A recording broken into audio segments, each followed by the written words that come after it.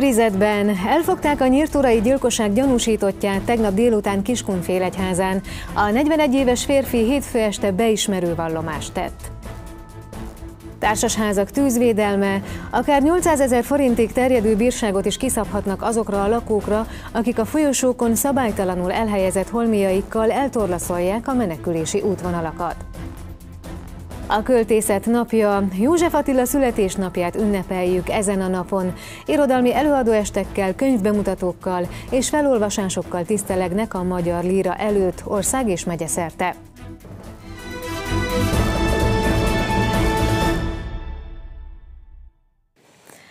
Elfogták a nyírturai gyilkosság gyanúsítottját tegnap délután Kiskunfélegyházán. A Kölcsei Televízió híradóját látják. Köszöntöm Önöket! A 41 éves R. Robert hétfő este beismerő vallomást tett a szabolcs már Bereg megyei rendőrfőkapitányságon. A megalapozott gyanú szerint a férfi a 84 éves idős asszonyt péntek este több készszórással ölte meg saját otthonában, holtestére vasárnap találtak rá. Hétfő este hallgatták ki a nyírturai gyilkosság gyanúsítottját a szabolcs már Bereg megyei rendőrfőkapitányság bűnügyi osztályának nyomozói. A helyi főkapitányság elfogató parancsa alapján hétfő délután Kiskunfélegyházán kapták el a 41 éves R. Robertet. A rendőrség adatgyűjtése és a helyszíni szemlék információi alapján a nyomozók néhány órán belül azonosították a bűncselekmény gyanúsítottját. Ahogy arról korábban beszámoltunk, április 9-én vasárnap 12 óra 30 perc körül holtan találtak egy 84 éves idős asszonyra otthonában Nyírturán. Ebben a családi házban egyedül élt az áldozat. A szomszéduk arcokat nem vállalva tegnap arról meséltek, hogy az asszony évekkel ezelőtt Ukrajnából költözött Magyarországra. Nyírt urai otthonában férjével közösen éltek. Pár évvel ezelőtt azonban a férfi meghalt, azóta lakott itt egyedül a 84 éves asszony. A rendőri felügyelet hétfőn is folyamatos volt a ház előtt. A gyilkosság pontos idejét egyenlőre még nem lehet tudni. Az előzetes orvosszakértői vélemény alapján talán már pénteken halott lehetett az áldozat. Az adatgyűjtés és a helyszíni szemleadatai alapján a rendőrség azonosította azt a 41 éves kiskunfélegyházi férfit, aki a megalapozott gyanú szerint Nyírturán otthonában megölt egy 84 éves asszonyt. A szabolcs már Bereg megyei rendőrfőkapitányság bűnügyi osztálya a férfi mielőbbi elfogása érdekében elfogató parancsot adott ki, amely alapján Kiskunfélegyházán 2017. április 10-én a helyi rendőrök elfogták a körözött férfit. A főkapitányság bűnügyi osztályának munkatársai a feltételezett úgynevezett elkövető gyanúsítottként kihallgatták, melynek során beismerő vallomást tett, majd ezt követően bűnügyi őrizetbe vették, és kezdeményezik előzetes letartóztatásának indítványozását. A jelenleg rendelkezésre álló adatok szerint R. Robert több készszórással ölte meg az idős asszonyt, az indítékot egyelőre nem lehet tudni.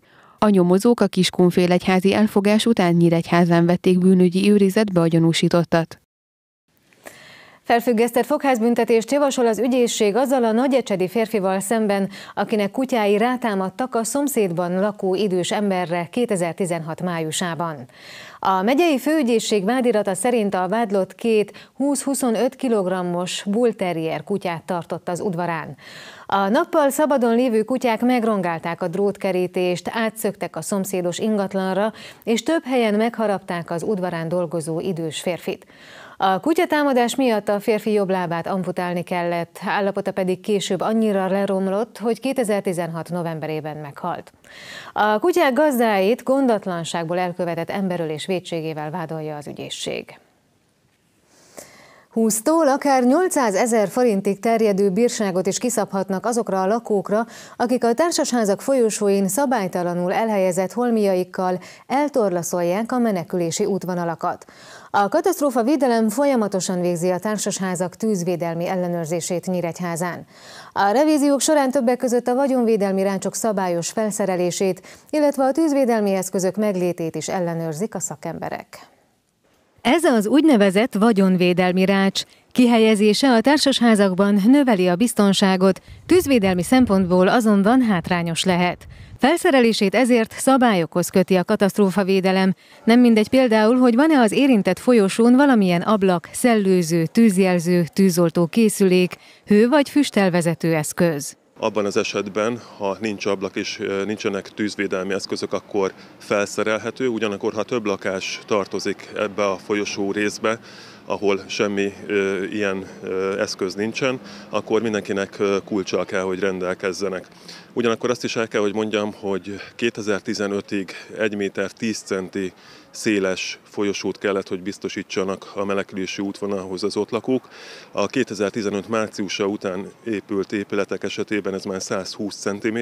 A magas házak esetében két évente, a középmagas épületek esetében két-három évente tart folyamatos ellenőrzéseket a katasztrófavédelem. Számos esetben találkoznak a tűzoltók a folyosókon szabálytalanul elhelyezett berendezési tárgyakkal, például bútorokkal és virágokkal is. Ilyen esetekben először felszólítják a tulajdonosokat, hogy távolítsák el a lépcsőházakból ezeket az eszközöket, második lépésben pedig akár bírságot is kiszabhatnak. Ha nem szüntetik meg, akkor élünk a bírság lehetőségével. A menekülési útvonalak eltorlaszolásánál ez 20-tól 800 ezer forintig terjedhet, illetve azokban az esetekben, amikor mondjuk bírságot szabunk, akkor is nyilván nem a legmagasabb tétellel kezdjük, hanem egy kisebb, alacsonyabb összeggel. Ezt a problémát mintegy 2400 társasházi lakás közös képviseletét ellátó társaságnál is tapasztalják. Főleg a folyosón gazdátlanul hagyott holmik tulajdonosainak felkutatása ad munkát és kihívást az ellenőröknek. Sajnos azért még mindig nem értik meg. Ott, ahol előfordult már tűzeset, ott azért ez nagyon egyértelmű, hogy mit lehet és mit nem. Ott, ahol még nem történt, hál' Istennek, ilyen típusú probléma, ott azért vannak lakók, akik ezt nehezen akarják tudomásul venni, hogy nem rakhatok ki akármit a lépcsőházba, nem tárolhatok a szemétledobókban bizonyos dolgokat, amiket előszeretettel szoktak, illetve a másik, ami még nagyon gyakori, a villanyóra szekrényekben tárolnak, ugye nagyon gyakran tűzveszélyes anyagot, papírgyűjtés például elég gyakran csinálnak az ilyen villanyóra szekrényekben, tehát ezek a leggyakoribb problémák. Minden társasháznak kötelező tűzvédelmi szabályzatot kell készítenie. Ennek rövidített, egyszerűsített változatát minden lakó megkapja. Az élhető Magyarország megteremtése a célja a Jobbiknak a Bérunióval, mondta Nyíregyházi tájékoztatóján Adorján Béla. szabolcs már Bereg megye négyes számú országgyűlési egyéni választókerületének jobbikos képviselőjelöltje kiemelte, polgári kezdeményezést indítottak annak érdekében, hogy a bérfelzárkóztatás ügye bekerüljön az Európai Unió alapokmányaiba, és így a bér és gazdasági különbségek megszűnjenek a tagországok között nem vagyunk elegek ahhoz, hogy ezt teljesítsük, és éppen ezért az Európai Unió, főleg közép-kelet-európai országokhoz fordultunk, és hála jó Istennek nyolc ország csatlakozott ehhez a kezdeményezéshez, ami tulajdonképpen arról fog szólni, hogy a Jobbik által megfogalmazott bérunió létrehozásának problémájával foglalkozzon az Európai Bizottság. Ehhez egy millió aláírás kell összegyűjtenünk. Úgy néz ki, hogy a nyolc ország részvételével ez nagyon rövid idő alatt sikerülni fog, és most arra kérjük az önkormányzatokat, hogy erősítsék meg ezt a polgári kezdeményezést, segítsék ők is a munkánkat, és nem csak a mi munkánkat, hanem segítsék a magyar emberek boldogulását, a jövő megteremtését. Ma van a költészet napja, József Attila születésnapját ünnepeljük ezen a napon. Ebből az alkalomból minden évben irodalmi előadóestekkel, könyvbemutatókkal és felolvasásokkal tisztelegnek a magyar líra előtt ország és megye szerte. A Nyíregyházi Laborkaféban 24 órán keresztül verseket olvasnak. A közösségi térben ma éjfélig várják a baráti társaságokat, osztályközösségeket és önkénteseket. 1905. április 11-én született a Postumus Kossuth és Baumgarten díjas magyar költő József Attila.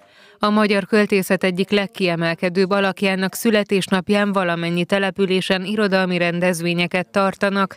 A Nyíregyházi Laborkaféban 24 órás felolvasást szerveztek. Április 11-én 0 óra 1 perckor indítottuk a rendezvényünket, és ma évfélig folyamatosan várjuk azokat, akik szeretnék a kedvenc versüket egy kávéra vagy egy forró italra beváltani itt a Laborkaféban. Tényleg mindenkit várunk, nagyon-nagyon színes programokkal, borkóstoló, a helyi színművészeknek a közreműködése várható még a mai nap során, és hát meglepetésekkel is készülünk az este, este folyamán még. Adi Endre, a magyar messiások. Sósabbak itt a könnyek, a fájdalmak is mások. Ezerszer messiások, a magyar messiások. Ezerszer is meghalnak, s üdve nincs a keresztnek, mert semmit se tehettek, ó, semmit se tehettek. Az Évis 11-es diákjai napok óta készülnek a költészetnapi versmaratonra, a legtöbben Adi Endre és József Attila verseket olvastak. A Nyíregyházi Évisz iskolából érkeztünk, a osztályfőnökünk segítségével sikerült felkészülnünk erre a versmaratonra, és én egy Adi verset fogok elmondani. A közösségi térben ma éjfélig várják a baráti társaságokat, osztályközösségeket és önkénteseket, hogy kedvenc versüket olvassák fel a Magyar Költészet Napja alkalmából szervezett versmaratonon. Baleset történt ma délelőtt a 41-es főútvonalon Nyíregyházán. Egy személygépkocsi megcsúszott a vizes burkolaton, az útszéli patkának, két fának, majd villanyoszlopnak csapódott. A sofőrt fejsérüléssel szállították kórházba, az autó totál károsra tört. A balesetet feltehetően gyors hajtás okozta. Lényegesen emelkedtek a nyári táborok árai idén, a részletekről hamarosan, előtte nézzük a híradó további témáit. Szomszédvári rangadót nyerte a kisvárdai futballcsapat. Révész Attila együttese az NB2 28. fordulójában Cigándon lépett pályára, és Gosztonyi, valamint Rajci góljával 2-0-ra győzött a házigazda ellen. Két tavaly elhunyt kosárlabdázó Pál István és Zentai Levente emlékére rendez tornát húsvét vasárnap a megyei szövetség. A csapatok három korosztályban nevezhetnek a rendezvényre.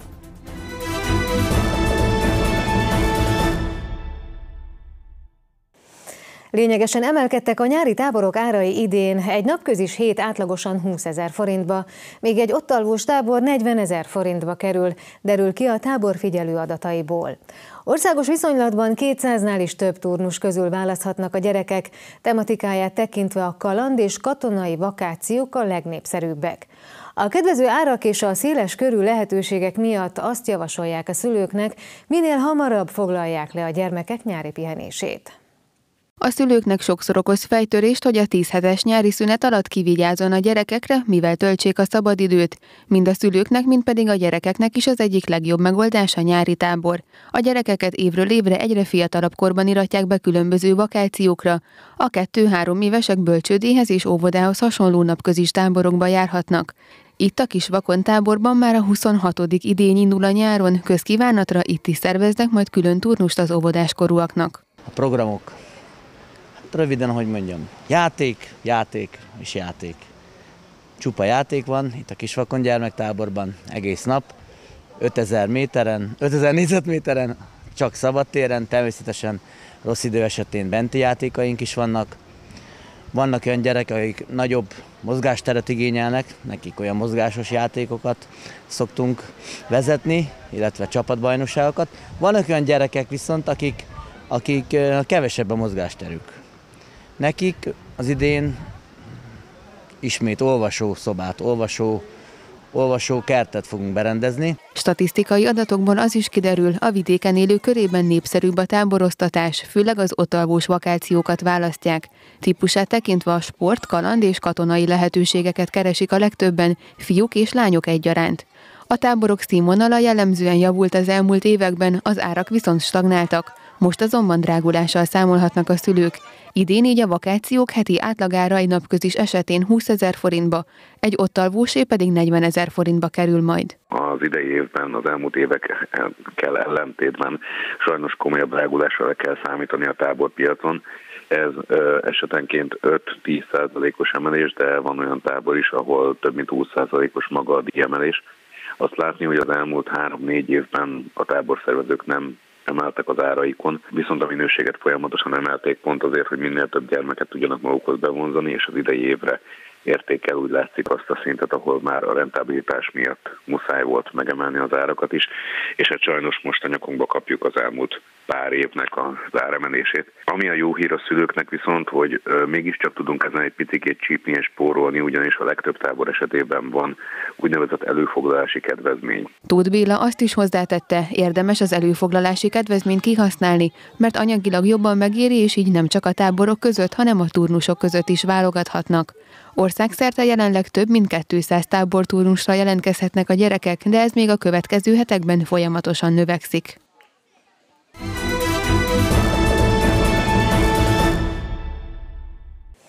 Szomszédvári rangadót nyerte a kisvárdai futballcsapat. Révész Attila együttese az NB2 28. fordulójában Cigándon lépett pályára, és Gosztonyi, valamint Rajci góljával 2-0-ra győzött a házigazda ellen. Sikerével a tabella harmadik helyére lépő Kisvárda szerdán a Csákvárt fogadja.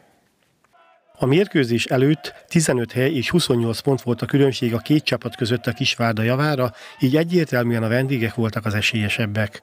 A kiesés elől menekülő cigánd nem állt be védekezni, de helyzetek inkább a várdaiak előtt adódtak az első félidőben. A 40. percben a gól is megszületett, Fodor fejelte középre a labdát, amelyet Gosztonyi lőtt a kapuba. Az 59. percben eldőlt a találkozó, Rajci növelte két gólos a csapata előnyét, amely érvényesítette a papírformát, magabiztosan megszerezve a három pontot kiélezett meccs volt, főleg az elején. Nagyon jó volt látni, hogy szinte hazai hangulatot teremtettek a, a szurkolóink. Kiélezett meccs volt, de azt gondolom, hogy valóban hoztuk a kötelezőt és megnyertük a találkozót. A forduló további eredményei a következők, Zalaegerszeg Soroksár 2-2, Vác Szolnok 3-3, Moson-Magyaróvár Budaörs 1-1, Siófok Balmazújváros 2-1, Nyíregyháza Spartakusz Cegléd 1-2, Dorog, Grosics Akadémia 1-0, Szeged Sopron 1-2, Csákvár Puskás Akadémia 1-1 és Békés Csaba Kozár Misleny 5-1. A tabella élén a Puskás Akadémia áll 56 ponttal, megelőzve az 54 pontos Soroksárt. A Kisvárda 51 ponttal a harmadik helyen várja a szerdai fordulót, amelyben a Csákvárt fogadják Fodorék. Nehezen indult a, a bajnokság, én azt gondolom, hogy ebből a nehéz időszakból már kilábaltunk, a győzelmek azért magabiztosabbá tették a csapatot, de mindig a soron következő meccs a legfontosabb, így most a Csákvári. Így a két meccses ritmusban sokat számít az, hogy, hogy nem kell több órát utaznunk. Én azt gondolom, hogy egy kiélezett meccs lesz, főleg azért, mert mindkét csapat egy nehéz, nehéz hétvégi fordulón van túl.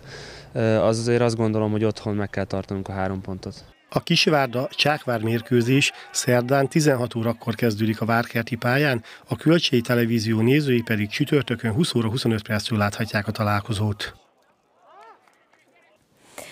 Két tavaly elhunyt kosárlabdázó Pál István és Zentai Levente emlékére rendez tornát húsvét vasárnap a megyei szövetség. A csapatok három korosztályban nevezhetnek a rendezvényre, amelyen a B33 szabályai szerint három játékost felvonultató együttesek mérik majd össze tudásukat Nyíregyházán, a Bánki csarnokában. Augusztustól június közepéig számtalan kosárlabdatornát rendeznek Nyíregyházán, a húsvét vasárnapi azonban több szempontból is rendhagyó lesz. Az elmúlt évben két korábbi kosárlabdázó hunyt el váratlanul, és a megyei szövetség a volt sportársak barátok kérésére egy B33-as tornával tisztelek Pál István és Zentai Levent emléke előtt. Mindketten a barátaim voltak. Pistát ismerem régóta, akit már 88-ban megismerhettem, amikor Nyíregyházára kerültem, akkor itt játszott a tanárképző színeiben, és nagyon sokat segített nekem abban, hogy be tudjak illeszkedni a csapat szerkezetébe. Ugye akkor még teljesen fiatalként a kosárlabdától távol ról érkezve ez nagy segítség volt nekem. Levente pedig ugye az utolsó pillanatig is mellettem dolgozott, és nagyon sokat dolgoztunk együtt. Nem is nagyon tudom alapvetően elfogadni még azt, hogy már nincsenek itt. A Batyus B33 elnevezésű emléktorna a megyei szövetség elnöke szerint a mozgás mellett a baráti kapcsolatok ápolására is lehetőséget biztosít majd a részvevők számára. Az emlékezés mellett igazi baráti hangulatra, több generációra számítunk, hiszen Zentai Levi is edző volt, mellette nagyon sok fiatal nevelkedett a keze alatt, úgyhogy úgy gondolom, hogy több mind a ketten játszottak élvonalbeli csapatokban, tehát nagyon sok az egykori kosaras ismerős, tehát bízom benne, hogy nagyon jó hangulatban baráti társaságok összejönnek, és akár a generációs különbségeket is áthidalva és a kosárlabdával összehozva, én gondolom, hogy egy ilyen nagyon kellemes, jó hangulatú torna lesz. A torna meccseinek a Nyíregyházi Bánki terme ad otthont. A B33-as szabályoknak megfelelően félpályán játszanak majd a csapatok. Három játékos van egyszerre a pályán. Ezen a tornán most megengedünk két cserét, egyébként egy csere lenne. Maga a játékidő 10 perc, záló órával alapból, de hogyha torna a csapatok úgy jöttek össze, akkor lehet, hogy futóval lesz. Ha 10 percen belül a 21 pontot valamelyik csapat megdobja, akkor már nyert az a csapat. Ha döntetlen lenne, akkor az első két dobott pont utána az a csapat nyeri meg, aki ezt hamarabb megszerezte. Egyébként hatos labdával játszák még, és játékvezető van. A streetballnál nincs, csak pályafelügyelő, de a B33-nál játékvezető van egy darab, aki kvázi vezeti a mérkőzést. A tornára előzetesen és a helyszínen is lehet nevezni 9 óra 30-ig. A rendezvény vasárnap 10 órakor kezdődik, a szervezők a nevezési díjakból származó bevételt az elhunytak családjainak ajánlották fel. Iradunk végén nézzük a legfontosabb híreket még egyszer néhány mondatban.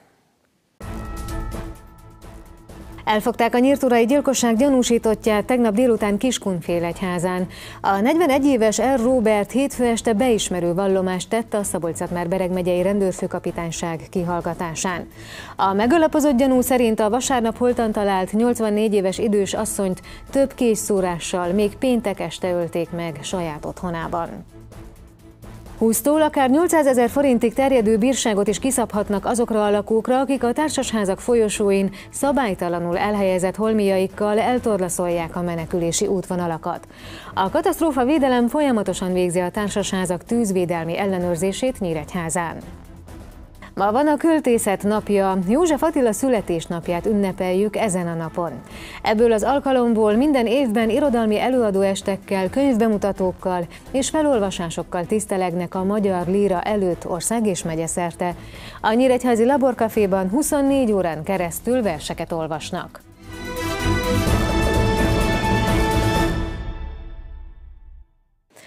Önök a Kölcsei Televízió íradóját látták április 11-én kedden. Friss hírekkel holnap este jelentkezünk, híreinket addig is megtalálják honlapunkon. Én köszönöm szépen a figyelmüket, viszontlátásra!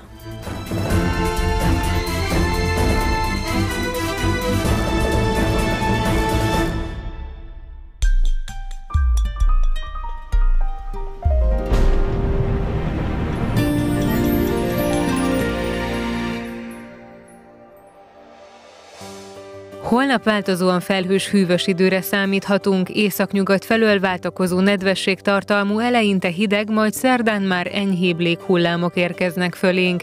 Estétől csökken a felhőzett záporeső, azonban még előfordulhat, az északnyugati szél megélénkül, majd mérsékelt változó irányú szél lesz a jellemző. Reggel általában egy fokig csökken a hőmérséklet.